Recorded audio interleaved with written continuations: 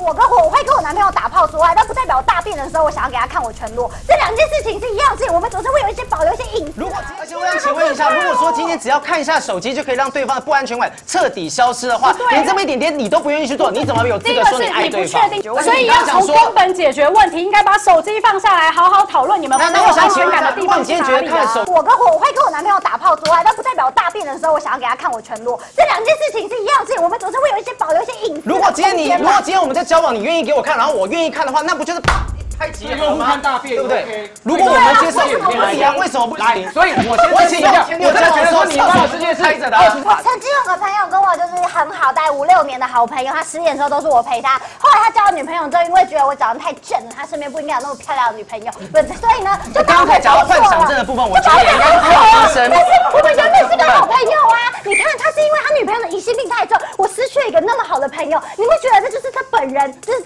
如果今天请问一下如果今天你们的另外一如果手机里面没那么多隐私的话，陈冠希的影片就不会外流了。但是如果今天大家互相彼此允许，所有互看的基础，陈冠希就不会把这影片存在手机里面。这件事情危险互相同意，为什么不行？看到你的伴侣没有陈冠希影片。哦，我骄傲啊，说你认识陈冠希啊？签名。发现哎、他可能喜欢玩滑板，然后你也想说，哎、那你也可以就来尝试一下，这样不是也不错吗？那这样不觉得你不觉得听起来很他喜欢滑滑板，你需要透过手机才能知道吗？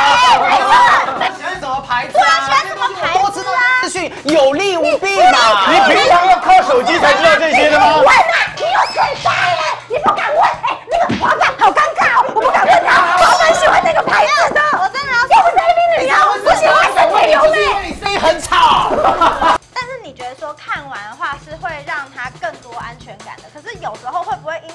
到了什么，然后不小心误会对方，让你们有一些嫌隙呢？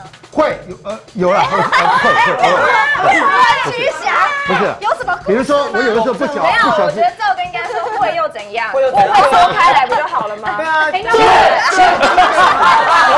情侣可以分手吗？可以离婚嘛？不行不行不行不行不行不行不行！那我们都私下讲的不一样，对吗？我们结婚就结婚了，基本上要挽留。哦，我们不是。你有话想说却苦无发声的管道吗？你对事情有不同的见解，却无人倾诉吗？年轻学子们站出来，说出你们的想法，让我们听听年轻人的心声。闹变风向，强力征求学生辨识，只要你敢说，我们就敢要。赶紧拍摄影片，然后发送到我们以下的信箱，就会有专人跟你联系。还有还有，别忘了订阅我们闹变风向的 YT 频道，按赞，开启小铃铛，就不会错过我们精彩的辩论哦。各位朋友，闹变风向，敢嘴就来辩。